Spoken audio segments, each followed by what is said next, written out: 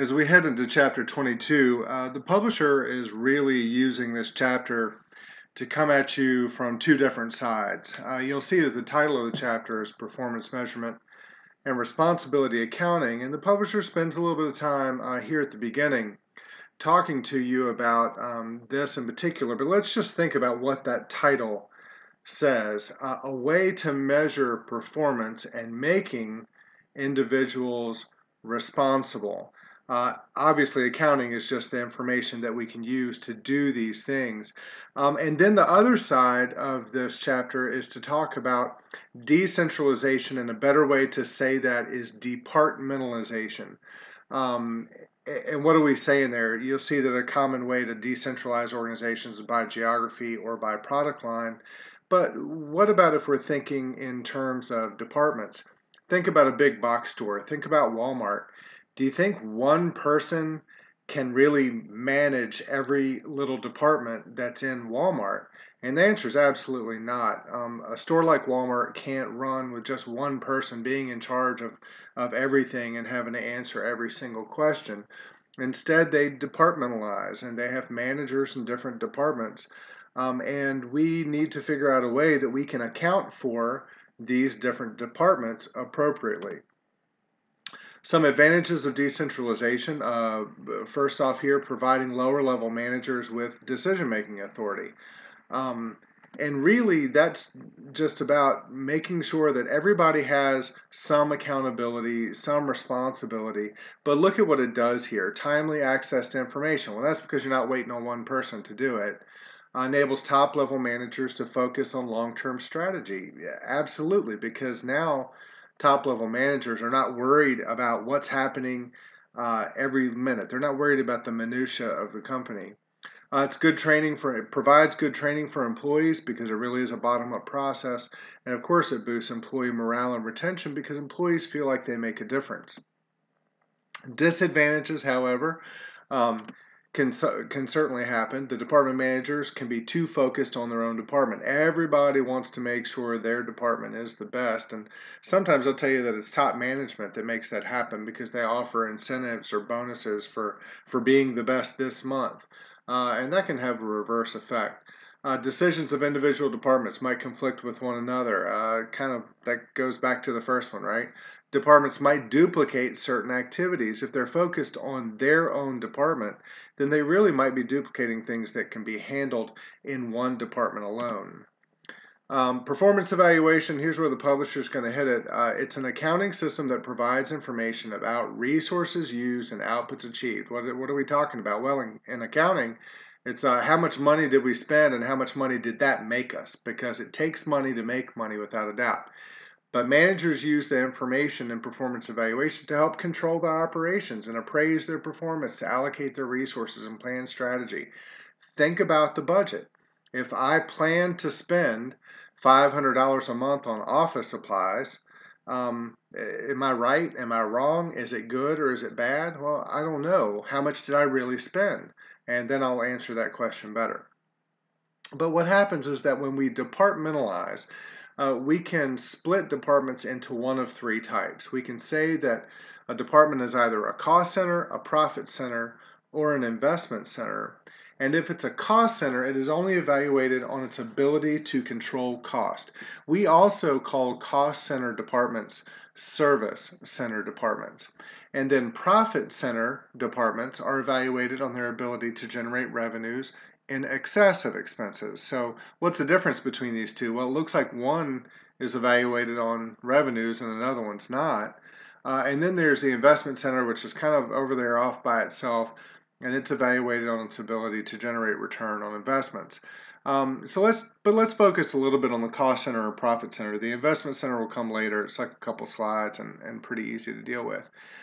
But let's just think about Walmart.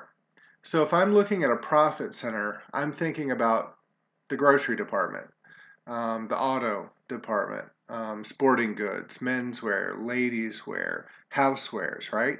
Though each one of those departments can, and of course each one of those departments has its own expenses. Well, if it has revenues and expenses, I just want to make sure that they're making more money than they're spending, right? That makes sense. But what about a cost center? What would a cost center be, or what we would call a service a service center? And that might be the janitorial department or the housekeeping department um, in Walmart, the people who keep the store clean. They never generate a revenue. All they ever do is spend money to keep the store clean. And they need to keep the store clean because you're not going to have customers if you don't keep your store clean. So they're uh, they're necessary.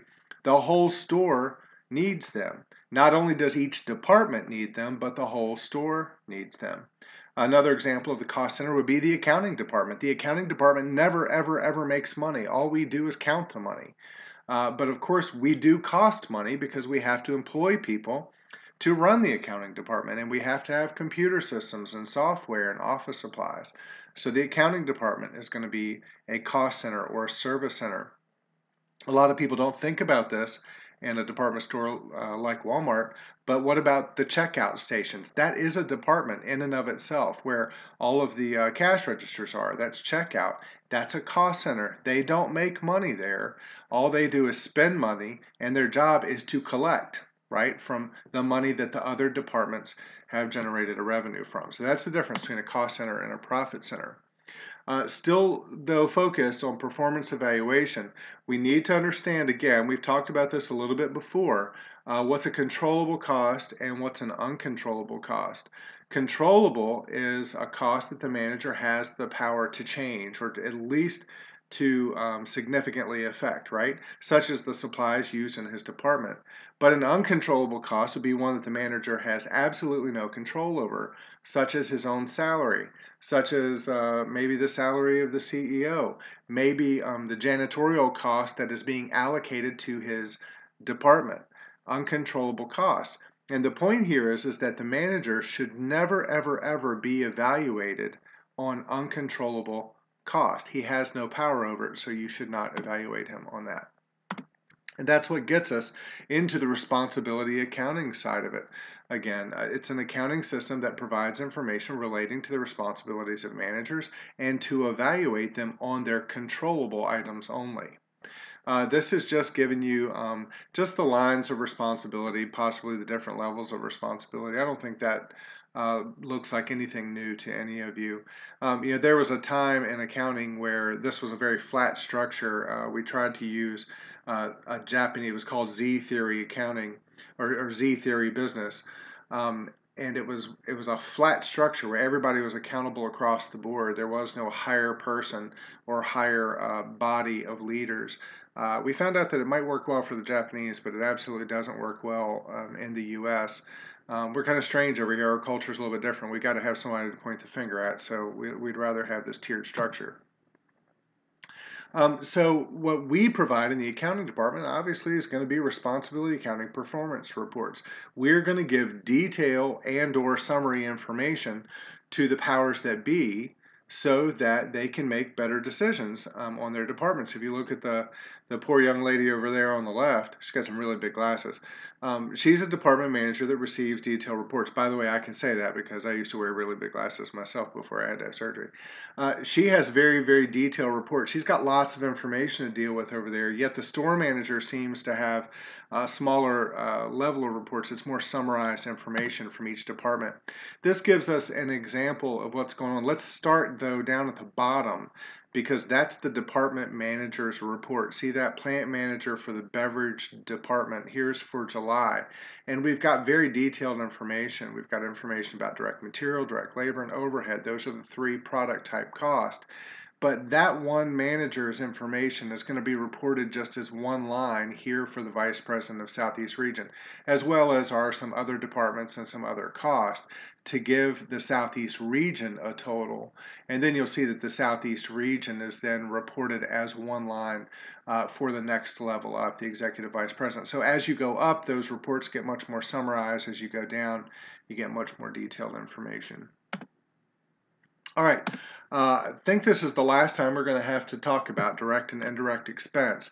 Uh, when we first learned what direct and indirect expenses were, we learned that this is um, the cost by traceability. It's a way to trace cost a certain way. And we had learned back then that a direct cost, uh, if we were talking about uh, manufacturing, is a cost that is going to be directly linked to the product that we're creating, and an indirect cost was one that we couldn't link directly to the product.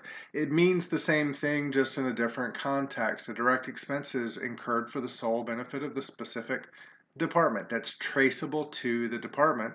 Indirect expenses are those that benefit more than one department and are allocated among all departments benefited, just like indirect costs are in, in the um, in in a product or in manufacturing. If you think about it, uh, all of the factory overhead. Remember, we put the um, plant manager's salary there, the rent there, the janitorial team. It all went as indirect expenses in factory overhead, and then we allocated that overhead out to every product. The same thing happens in departmentalized accounting is that we are going to track all of those indirect expenses and then we're going to allocate them out across departments. And that's really the crux of the of the number crunching that we're going to deal with here. Let's talk about how we allocate though. Um, if you've taken business math already then you've already learned how to do this most likely. Pretty simple to do. The example here is that classic jewelry pays a janitorial service $800 a month to clean the store. 800 bucks for the whole store but management allocates the cost of the janitorial service to the three departments according to the floor space each occupies. So here you've got a jewelry store that has three departments, a jewelry department, a watch repair department, and a china and silver department. And out of the 4,000 square feet of the store, jewelry takes up 2,400, watch repair takes up 600, and china and silver takes up 1,000 square feet. The idea here is that if 4,000 feet is all of the space, thus the 100%, how much, uh, what percentage is 2,400 of 4,000? Well, that's easy math. We take 2,400 divided by 4,000 and we get 60%. 600 divided by 4,000, we get 15%, and 1,000 divided by 4,000, we get 25%.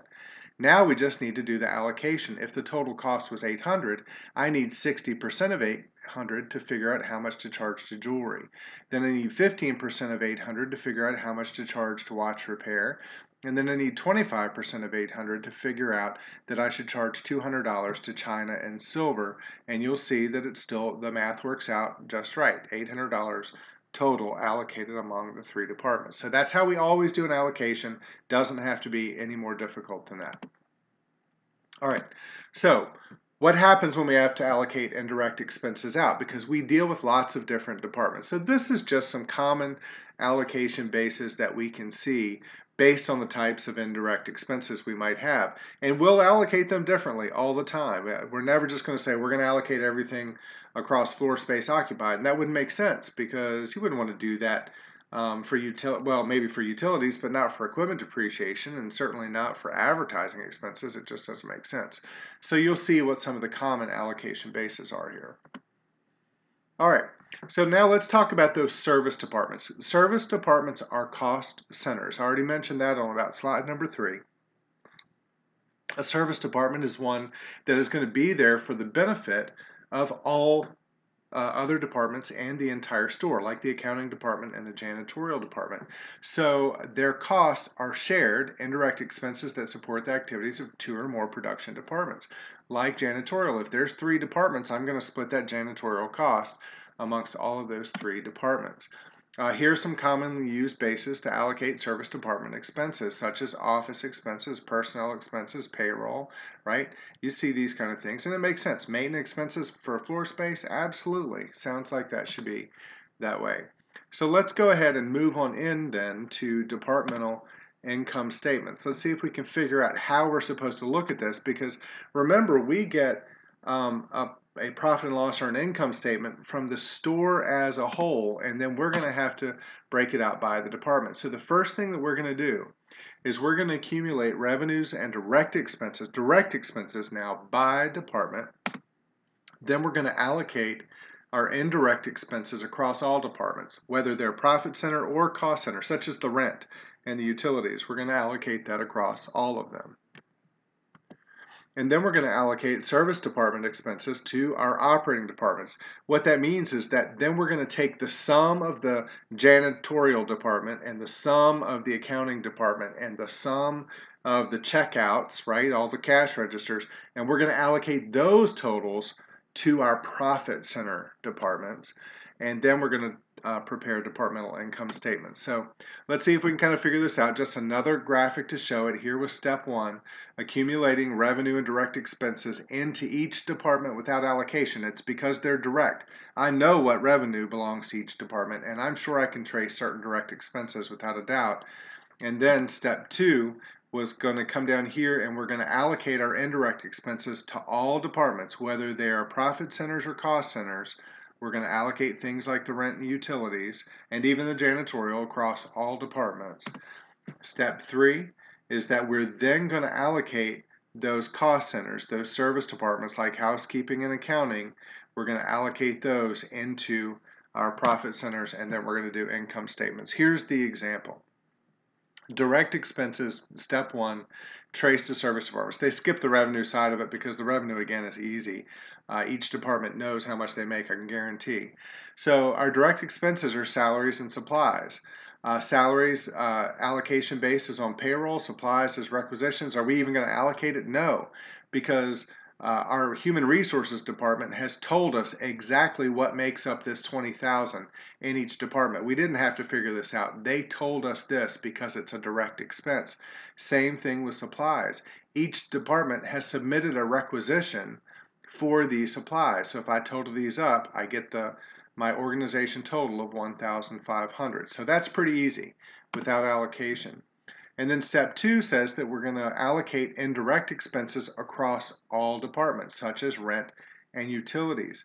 In this case, we've decided that we're going to allocate it based on floor space. And you'll see that it says that um, the rent is $10,000 for the company as a whole. And then we have some kind of way we know apparently how much floor space each department takes and we're going to charge it out. I think it'll show us here in a second. Here it is. Of a total of 2,000 square feet, the service departments, that's these two, occupy 200 square feet each. Sales department one, that's this one, occupies 600 square feet, and this one occupies 1,000 square feet. So what have we done? Well, we're going to take 1,000 divided by 10,000 to get the percentage that we should actually apply over here. Um, and then we're going to take the 600 divided by 10,000 to figure out the percentage that we should apply here. And it'll probably show us that math. Here it is. Example is 200 square feet divided by 2,000. We're talking about one of the service centers. Multiply that by the 10,000 and you get a grand. 1,000 bucks needs to go to each of these two service departments because they each, right, each of them takes 200 square feet, 200 square feet each. All right. So uh, step three, the service department total expenses then need to be allocated to the sales departments. They really uh, did kind of a poor job. I'm going to go back one. Let's let's talk about this a little bit more. So they also allocated out the utilities the same way. Uh, again, floor space, so we can figure out the percentage and knock that thousand down. But look at what happens. The service department has cost of 2,200, and this service department, service department two, has 3,400. Step three says that we need to allocate this 2200 across these two departments, and we need to allocate this 3400 across these two departments as well. So I need to spread these out into the sales departments. And that's what we're going to do here. Uh, so it says that uh, service department one, you'll see um, its allocation base is going to be based on sales. The 2200 has now come out as a minus and pushed across these two sales departments so that service department one ends with a zero because it started with a $2,200 positive that we can't see because of this, takes away the 2200 and spreads it out across these two departments. It's going to do the same thing uh, for the 3400 in a second, but let's see why how it did service department 1. It said it had 40,000 in sales and sales department 2 has 48,000 in sales. See it allocates by sales, that's a total of 88. So if I take 40 divided by the 88 and 48 divided by the 88, it would give me a percentage. And that's exactly what happens. So we take 40,000 divided by 88, and then we multiply it by this 2200, which means 1,000 must go here. And even if we didn't want to do the allocation, that means 1,200 has to go here, right? We don't have a choice. It has to go there, but I'm sure that if you take 48,000 divided by 88,000 times 2,200, it's going to give you 1,200. It's going to work the same way. And then you'll see here that we continued out for service department number two. We uh, zeroed out the 3400 by allocating it out to these two departments based on an allocation base of employees. It says that sales department one has 28, sales department two has 40 for a total of 68 employees. And if we do the math, we take 28 employees divided by 68, multiply it by the 3400, and that's what gives us 1400. If I took 40 divided by 68 and multiply that by 3400, it would give me this 2000. You'll see now that these two service departments have nothing right? We've allocated all of their expenses out to these two departments and increased their total expense. With that, we can then create our departmental income statement. They didn't tell us about sales or cost of goods sold, so don't get hung up on that. But here's the direct expenses, and then we allocated these indirect expenses across there, and then we allocated, see what happens to the service departments? Now instead of columns, they become lines that are going across the board. And now we can see the net income for each of the profit center departments, the two service uh, cost center departments, and then our organization as a whole. And it all ties out, right? If I take 7,900 here at the bottom plus 9,600, I get this 17,500. All right, uh, we want to talk real quick about the departmental contribution to overhead. And really, this is used to evaluate departmental uh, performance. We need to decide whether we should keep departments around or not. If if we've got a department that's consistently losing money, uh, we're going to use these departmental income statements to determine whether we should keep the department around. Um, however, we need to only use departmental contribution to overhead. I'm going to back up one slide, don't get confused. We don't want to use these numbers when we're evaluating a department as a candidate for elimination. Because, why? Because there are uncontrollable expenses in these departments. And as long as the contribution margin, the departmental contribution margin is positive, then the department is actually still feeding money to cover overhead. That's kind of the best way to say it, something you might have to play around with. So we want to use the departmental contribution to overhead to evaluate the company. How do we calculate that? Departmental revenue minus direct expenses, which means nothing indirect and none of the service department allocations are going to be considered. Let's see what that looks like. So here it is, the same information before we get down to the indirect expenses. So we're taking sales minus cost of goods sold minus our direct expenses. And now we see that these are the numbers that we actually want to evaluate our departments on. Look, uh, it's the contribution to indirect expense um, that we want to emphasize. If the contributions are positive, we do not want to consider them as candidates for elimination. All right, uh, we want to look real quick at uh, evaluating investment center performance. The investment center was that one all the way on the right that I said, eh, it's a little bit different. An investment center usually exists in your business office or your accounting office. And uh, basically, they're evaluated on their ability to take excess cash or excess assets and invest them in something that's going to create a return. Uh, if they've got too much cash, maybe they're going to put it in a CD and get some interest. Maybe they're going to buy some bonds. Maybe they're going to buy some stock. Um, but that's what it's going to be evaluated on is its ability to take that excess cash or excess assets and invest it in something else and generate a revenue uh, from those investments. We're going to look at two performance measurements. One is the investment center return on assets or ROA, and the other one is going to be the investment center residual income or RI. Uh, here's the um, ROI. So it's investment center net income uh, divided by the investment center average invested assets. Look at what's happening here. I've got uh, two basically it's two investments that we're making right so i have investment center for lcd and investment center for s phone um, lcd has earned 526500 when it invested 2500000 in assets S phone has net income of 417,600. This is the investment. This is basically the interest and or dividends earned on the investment of $1,850,000. Well, when you do this calculation, you do the division, it says that LCD, while this looks much better than this, it actually has a lower return based on the number of on the amount of assets it has invested. Uh, it looks like S Phone's doing better. If LCD had uh, put this 2.5 million over in whatever S Phone put it in, uh, obviously it would have had even more income, right?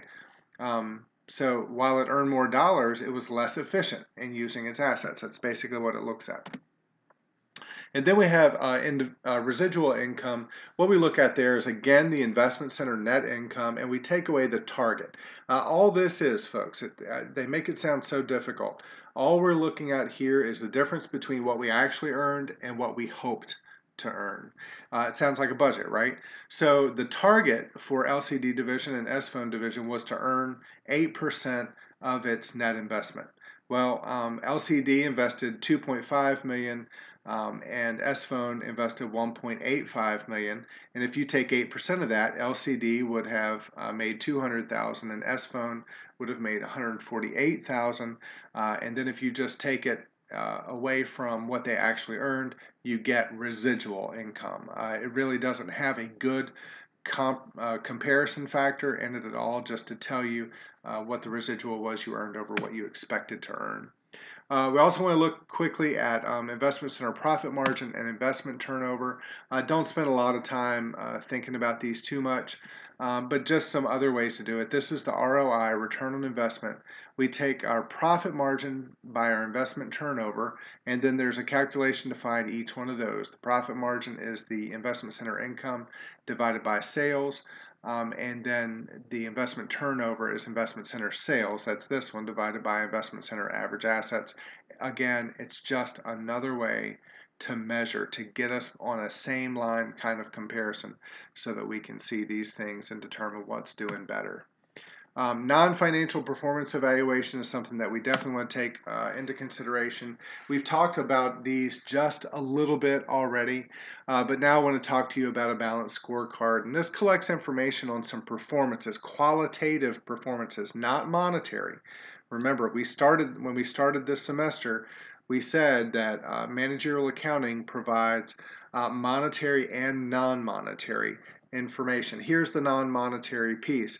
A balanced scorecard basically is going to use all of these performance indicators uh, and it's going to use them uh, in, in unison, really. It, it needs to look at all of these things um, in order to make this scorecard balanced to see how we're doing. It's going to look at innovation and learning. How can we continually improve and create value?